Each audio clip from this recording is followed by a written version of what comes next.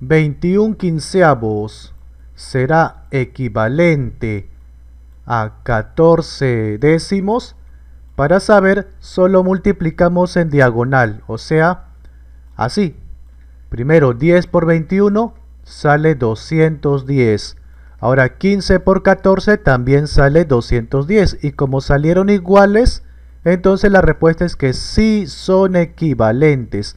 Si es que te hubiera salido diferente abajo hubieras puesto que no. Pero en este caso, sí.